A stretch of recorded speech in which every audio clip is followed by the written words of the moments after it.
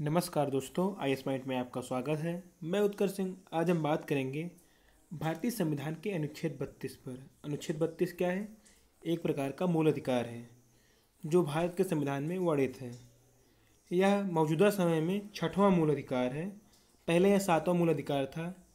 भारतीय संविधान में मूल रूप से पहले सात मूल अधिकार थे, लेकिन बाद में चौवालीसवें संशोधन द्वारा, चौवालीसवें संविधान संशोधन द्वारा एक मूल अधिकार संपत्ति के मूल अधिकार को हटा दिया गया। अब भारतीय संविधान में छः मूल अधिकार हैं तो इनमें अनुच्छेद बत्तीस, ये छठवां मूल अधिकार है। तो आज हम बात करते हैं भारतीय संविधान के अनुच्छेद बत्तीस पर। चर्चा में क्यों है? हाल ही में केरल के एक पत्रकार से संबंधित मामले की सुनवाई करते हुए मुख्य न्यायाधीश एस ए बोबडे ने कहा कि हम अनुच्छेद बत्तीस के तहत दावर याचिकाओं को हतोत्साहित करने का प्रयास कर रहे हैं। हमारे सुप्रीम कोर्ट के मुख्य न्यायाधीश कौन हैं? ऐसे बोबडे हैं। इन्होंने कहा, इन्होंने एक पत्रकार से संबंधित मामले की सुनवाई में कहा कि अनुच्छेद बत्तीस के तहत दायर याचिकाओं को हतोत्साहित करने का प्रयास कर रहे हैं। हमारे छः मूल अधिकार हैं, जो संविधान के भाग तीन में वर्णित हैं। अनुच्छेद चौदह से अट्ठारह तक समता का अधिकार है। समता का अधिकार कहाँ से कहाँ तक है? चौदह से अट्ठारह तक। अनुच्छेद चौदह से अट्ठारह तक। दूसरा अधिकार है, मूल अधिकार, स्वतंत्रता का अधिकार अनुच्छेद 19 से अनुच्छेद 22 तक। स्वतंत्रता का मूल अधिकार 19 से 22 तक। तीसरा है शोषण के विरुद्ध अधिकार, अनुच्छेद 23 से 24 तक। अनुच्छेद 23 और 24 शोषण के विरुद्ध मूल अधिकार है। धर्म की स्वतंत्रता का अधिकार अनुच्छेद 25 से 28 तक है। हमारा चौथा मूल अधिकार अनुच्छेद 25 से 28 तक है। धर्म की स्वतंत्रता का अधिकार। पांचवा संस्कृति और शिक्षा संबंधी अधिकार। संस्कृत और शिक्षा संबंधी अधिकार कितना है? अनुच्छेद उनतीस और तीस। ये पांचवा मूल अधिकार है। और छठवां मूल अधिकार कौन सा है? संवैधानिक उपचारों का अधिकार। अनुच्छेद बत्तीस। इसमें से एक अनुच्छेद गायब हो रहा है, अनुच्छेद इकतीस। अनुच्छेद इकतीस में पहले था संपत्ति के मूल अधिकार, जिसको बाद में चौवालीसवें संविधान संशोधन द्वारा हटा दिया गया। और बत्तीसवां अनुच्छेद क्या है? संवैधानिक उपचारों का अधिकार। यह मूल अधिकारों में ऐसा मूल अधिकार है। अगर बाकी पाँच मूल अधिकारों का अगर हनन होता है तो व्यक्ति या कोई संस्था अपने मूल अधिकारों के हनन के लिए उच्च न्यायालय या उच्चतम न्यायालय जा सकती है। तो अनुच्छेद बत्तीस के तहत सर्वोच्च न्यायालय मतलब उच्चतम न्यायालय मूल अधिकारों के हनन के खिलाफ कार्रवाई करता है। मतलब जो भी अगर मूल अधिकारों का हनन कर रहा है तो उसके खिलाफ सुनवाई सुप्रीम कोर्ट ही करेगा। अनुच्छेद बत्तीस यही कहता है। तो हमारे माननीय न्यायाधीश S A Bobde, Supreme Court के मुख्य न्यायाधीश एस ए बोबडे ने कहा कि हम अनुच्छेद बत्तीस के तहत दावा दायर याचिकाओं को हतोत्साहित करने का प्रयास कर रहे हैं। मतलब बहुत सारे याचिकाएँ अगर किसी के मूल अधिकारों का हनन हो रहा है तो डायरेक्ट वो सुप्रीम कोर्ट ही जाता है, अनुच्छेद बत्तीस के तहत। वो अपने मूल अधिकारों के हनन को रोकने के लिए संवैधानिक उपचारों के अधिकार के अंतर्गत सुप्रीम कोर्ट ही जाता है। तो न्यायाधीश जी कह रहे हैं कि हम इसको हतोत्साहित करना चाहते हैं इसको कम करना चाहते हैं। अब चर्चा करते हैं इसके प्रमुख बिंदुओं की।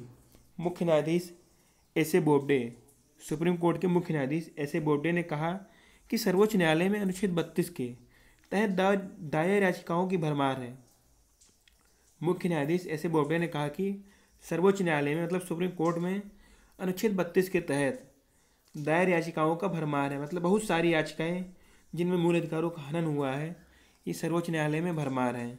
लोग अपने मौलिक अधिकारों के हनन की स्थिति में संबंधित उच्च न्यायालयों के पास जाने के बजाय सीधे सर्वोच्च न्यायालय के समक्ष याचिका दायर कर रहे हैं, जबकि संविधान के अनुच्छेद दो छब्बीस के तहत उच्च न्यायालयों को भी ऐसे मामलों में रिट जारी करने का अधिकार प्रदान किया गया है। जैसे कि मूल अधिकारों के हनन को रोकने के लिए मूल अधिकारों के खिलाफ अगर कोई सुनवाई करता है तो भारत में सुप्रीम कोर्ट को और हाई कोर्ट को।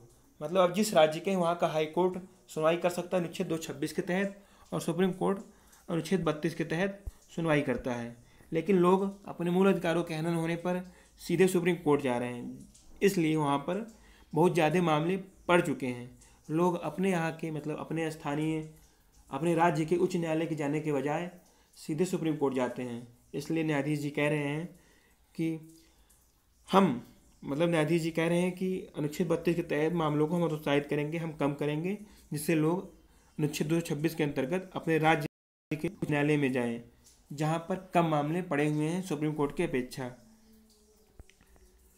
अनुच्छेद बत्तीस संवैधानिक उपचारों का अधिकार है। यह एक मौलिक अधिकार है, जो भारत के प्रत्येक नागरिक को संविधान द्वारा मान्यता प्राप्त अन्य मौलिक अधिकारों को लागू करने के लिए सर्वोच्च न्यायालय के समक्ष याचिका दायर करने का अधिकार देता है।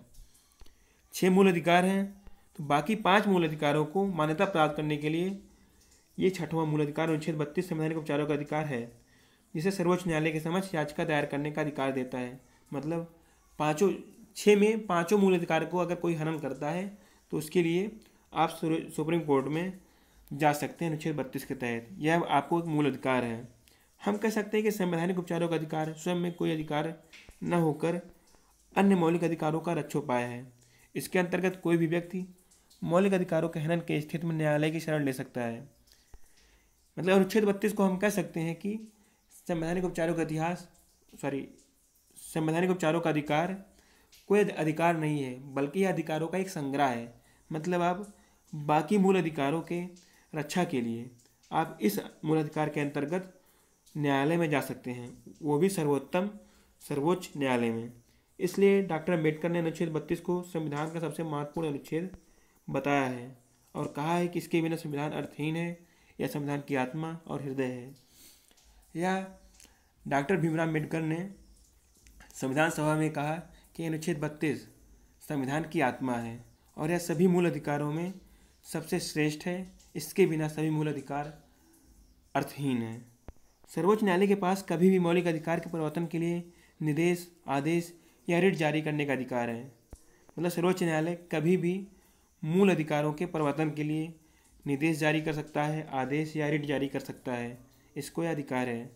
सर्वोच्च न्यायालय द्वारा बंदी प्रतिक्षीकरण रिट परमादेश रिट मतलब पहला है बंदी प्रतिष्ठीकरण रिट हैप्स क्रॉप्स रिट, परमादेश रिट, प्रतिषेध रिट, उत्प्रेषण रिट और अधिकार परीक्षा रिट जारी कर सकती है। संवैधानिक उपचारों के अंतर्गत कौन कौन से अधिकार आते हैं?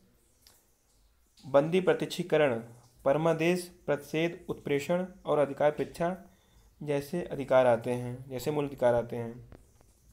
संवैधानिक प्रावधानों के मुताबिक राष्ट्रपति राष्ट्रीय आपातकाल के दौरान मौलिक अधिकारों के प्रवर्तन के लिए किसी भी न्यायालय के समक्ष याचिका दायर करने के अधिकार को निलंबित कर सकता है। इसके अलावा अन्य किसी भी स्थिति में इस अधिकार को निलंबित नहीं किया जा सकता है। भारत में जितने भी संवैधानिक प्रावधान हैं, इसके मुताबिक अगर राष्ट्रीय आपातकाल न लगा हो मतलब अगर राष्ट्रपति राष्ट्रीय आपातकाल ना लगाया हो तो सभी जो अधिकार हैं, उनको कोई निलंबित नहीं कर सकता है। मतलब न्यायालय की समझ याचिका दायर करने के जो अधिकार है, अनुच्छेद बत्तीस, उच्च न्यायालय या सर्वोच्च न्यायालय के समक्ष याचिका दायर करने के अधिकार राष्ट्रीय आपातकाल के समय ख़त्म हो जाते हैं। बाकी किसी भी समय, इसके अलावा किसी भी समय इनको कोई ख़त्म नहीं कर सकता। ना ही इनके खिलाफ कोई बड़ी कार्रवाई कर सकता है, छोटी कार्रवाई भी नहीं कर सकता। अनुच्छेद बत्तीस जो आपको देता है कि न्यायालय के समक्ष याचिका दायर करने का अधिकार, यह राष्ट्रीय आपातकाल के समय में अपने आप खत्म हो जाता है। और बाकी किसी भी समय, राष्ट्रीय आपातकाल के अलावा किसी भी समय यह अधिकार खत्म नहीं होता है। मौलिक अधिकारों के प्रवर्तन के मामले में सर्वोच्च न्यायालय का मूल क्षेत्राधिकार तो है, किंतु यह न्यायालय का विशेषाधिकार नहीं है। मतलब मौलिक अधिकारों के लिए सुनवाई में यह सर्वोच्च न्यायालय का मूल क्षेत्राधिकार तो है, लेकिन उसका विशेष अधिकार नहीं है। उसका अन्य मामलों में सुनवाई पर विशेष अधिकार है। जैसे वह उच्च न्यायालय से मामले जो सीधे सुप्रीम कोर्ट में जाते हैं, या सर्वोच्च न्यायालय जब किसी मामले को अपने लिए लेता है, उच्च न्यायालय से अपने लिए सुनवाई के लिए लेता है, ऐसे मामले उसके विशेषाधिकार में है, ना कि मूल अधिकार वाले। यह सर्वोच्च न्यायालय का मूल क्षेत्राधिकार इस अर्थ में है कि इसके तहत एक पीड़ित नागरिक सीधे सर्वोच्च न्यायालय में जा सकता है। हालाँकि, यह सर्वोच्च न्यायालय का विशेषाधिकार नहीं है, क्योंकि संविधान के अनुच्छेद दो छब्बीस के तहत उच्च न्यायालयों को भी मौलिक अधिकारों के प्रवर्तन के लिए रिट जारी करने का अधिकार दिया गया है। मौलिक अधिकारों के प्रवर्तन के लिए रिट जारी करने का अधिकार अनुच्छेद बत्तीस के अंतर्गत सुप्रीम कोर्ट को दिया गया है और अनुच्छेद दो छब्बीस के अंतर्गत उच्च न्यायालयों को दिया गया है। इसलिए लोगों को चाहिए कि अनुच्छेद दो छब्बीस के अंतर्गत सबसे पहले मूल अधिकारों के हनन होने पर अपने राज्य के उच्च न्यायालय में ही जाएँ, न कि सीधे सुप्रीम कोर्ट में। सर्वोच्च न्यायालय ने अपने कई निर्णयों में कहा है कि जहाँ अनुच्छेद दो छब्बीस के तहत उच्च न्यायालय के माध्यम से राहत प्रदान की जा सकती है, वहाँ पीड़ित पक्ष को सर्वप्रथम उच्च न्यायालय के समझ ही जाना चाहिए। सर्वोच्च न्यायालय ने अपने कई निर्णयों में कहा है कि जहाँ पर भी अनुच्छेद दो के तहत उच्च न्यायालय के माध्यम से राहत मिल सकती है तो भाई सुप्रीम कोर्ट जा क्यों जाना? क्यों फालतू में सुप्रीम कोर्ट का समय बर्बाद करो? पैसा तो बर्बाद करते हो अपना। कोई भी मामला हो, सीधे सुप्रीम कोर्ट। अरे भाई, हाई कोर्ट भी जाओ। खाली पड़ा बैठा है। वर्ष उन्नीस सौ सत्तानवे में चंद्र कुमार बनाम भारत संघवाद में सर्वोच्च न्यायालय ने अपने निर्णय में कहा था कि रिट जारी करने को लेकर उच्च न्यायालय और सर्वोच्च न्यायालय दोनों का अधिकार क्षेत्र संविधान के मूल ढांचे का एक हिस्सा है। उन्नीस सौ सत्तानवे में चंद्र कुमार बनाम भारत संघ वाद में सर्वोच्च न्यायालय ने अपने निर्णय में कहा था कि रिट जारी करने का अधिकार उच्च न्यायालय और सर्वोच्च न्यायालय दोनों के क्षेत्राधिकार में है। अब बात करते हैं इस व्यवस्था के विरुद्ध तर्क पर। अतीत में ऐसा कई बार देखा गया है जब सर्वोच्च न्यायालय ने उच्च न्यायालय के मामलों को अपने पास स्थानांतरित कर दिया था। अतीत में ऐसे कई मामले इतिहास में आपको ऐसे कई मामले देखने को मिल जाएँगे जिसमें सर्वोच्च न्यायालय खुद उच्च न्यायालय से मामलों को अपने पास स्थानांतरित कर लेता है। इसका सबसे ताज़ा उदाहरण हाल ही में तब देखने को मिला, जब सर्वोच्च न्यायालय ने राष्ट्रीय राजधानी के सेंट्रल बस्ट्रा प्रोजेक्ट हेतु भूमि उपयोग से जुड़े एक मामले को दिल्ली उच्च न्यायालय से स्वयं को स्थानांतरित कर दिया। कर्ताओं ने इस तरह का हस्तांतरण की मांग नहीं की थी। सबसे ताज़ा उदाहरण हाल ही में देखने को मिलता है, जब सुप्रीम कोर्ट ने दिल्ली हाई कोर्ट से राष्ट्रीय राजधानी के सेंट्रल वस्टर प्रोजेक्ट हेतु भूमि उपयोग से जुड़े मामले को स्थानांतरित कर लिया था। मतलब इसकी सुनवाई हाई कोर्ट में चल रही थी, दिल्ली हाई कोर्ट में चल रही थी, लेकिन सुप्रीम कोर्ट ने उसको अपने अंतर्गत सुनवाई करने के लिए कर लिया। बल्कि, जो अपील करता थे याचिका करता थे, इन्होंने ऐसा कोई प्रस्ताव नहीं रखा था, ना ना ही ऐसा सोचे थे। उनकी सुनवाई हाई कोर्ट में चल रही थी, जबकि सुप्रीम कोर्ट ने उनके मामले को अपने यहाँ स्थानांतरित कर दिया। जब जब मामलों का इस तरह स्थानांतरण किया जाता है तो याचिकाकर्ता अपील का अपना एक माध्यम खो देते हैं, जो मामले को स्थानांतरण न किए जाने की स्थिति में उपलब्ध होता है। जब इस तरह स्थानांतरण होता है, हाई कोर्ट में अपील को सीधे सुप्रीम कोर्ट में स्थानांतरण हो जाता है तो याचिकाकर्ता अपील का माध्यम खो देते हैं। अब बात करते हैं संविधान के अनुच्छेद दो छब्बीस क्या है। संविधान दो छब्बीस अन्य न्यायालयों को नागरिकों के मौलिक अधिकारों के परिवर्तन अथवा किसी अन्य उद्देश्य के लिए सभी प्रकार की रिट जारी करने का अधिकार प्रदान करता है।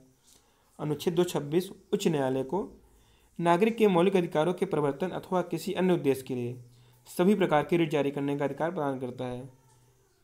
मौलिक अधिकारों के साथ साथ मतलब इसके प्रवर्तन, जैसे मौलिक अधिकारों के हनन पर रोक के साथ साथ किसी अन्य उद्देश्य मतलब कोई कानून, कोई कानूनी अधिकार, सभी प्रकार की रिट जारी करने का अधिकार पैदा करता, प्रदान करता है। बल्कि सुप्रीम कोर्ट में सिर्फ़ मूल अधिकारों के प्रवर्तन का अधिकार चलता है। यह किसी अन्य उद्देश्य का किसी सामान्य कानूनी अधिकार के प्रवर्तन से है। वही जो बताया आपको, किसी अन्य उद्देश्य का अर्थ सामान्य कानूनी अधिकार के प्रवर्तन से है। इस प्रकार रिट को लेकर उच्च न्यायालय का अधिकार क्षेत्र, सर्वोच्च न्यायालय की तुलना में काफ़ी व्यापक है। जैसे कि कानूनी छः मूल अधिकारों के अलावा जितने भी आपके कानूनी अधिकार हैं, इसके परिवर्तन के, इसके प्रवर्तन के लिए सुनवाई अनुच्छेद दो के अंतर्गत उच्च न्यायालय में होती है और इसका अधिकार क्षेत्र, उच्च न्यायालय का अधिकार क्षेत्र सुप्रीम कोर्ट से इस मामले में बहुत ज़्यादा है। जहाँ एक और सर्वोच्च न्यायालय केवल मौलिक अधिकारों के हनन की स्थिति में ही रिट जारी कर सकता है, वहीं उच्च न्यायालय को किसी अन्य उद्देश्य के लिए भी रिट जारी करने का अधिकार है। मतलब जहाँ पर भी सर्वोच्च न्यायालय केवल मौलिक अधिकारों के हनन पर ही रिट जारी कर सकता है। उससे पहले नहीं, सामान्य कानूनी अधिकारों के हनन पर रिट नहीं जारी कर सकता है। बल्कि उच्च न्यायालय सामान्य कानूनी अधिकार के हनन होने पर भी रिट जारी कर सकता है। इसलिए भैया, सीधी सी बात है, अगर आपके मूल अधिकारों का हनन हो रहा है तो सबसे पहले आप उच्च न्यायालय में जाइए। अगर आप उत्तर प्रदेश के हैं तो इलाहाबाद उच्च न्यायालय में आइए, हम आपका स्वागत करते हैं। फालतू में सुप्रीम कोर्ट मत जाइए। पैसा तो आपके पास बहुत है, लेकिन जिनके पास नहीं है, उनके बारे में सोचिए। फर्जी में पैसा मत खर्चा कीजिए। ठीक है? धन्यवाद। अगर वीडियो अच्छा लगा है तो लाइक कीजिए। दोस्तों में शेयर कीजिए चैनल सब्सक्राइब कीजिए धन्यवाद।